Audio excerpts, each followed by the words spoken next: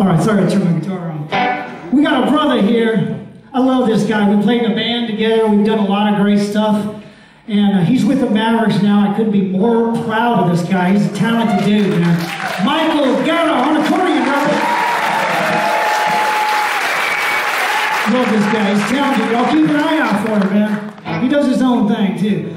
So uh, we ain't gonna even scratch the surface tonight, but we're gonna have some fun because you could do Doug's song all night long and probably still not scratch the surface. Yeah. All right, you guys ready out there? Let's hear it. Come on.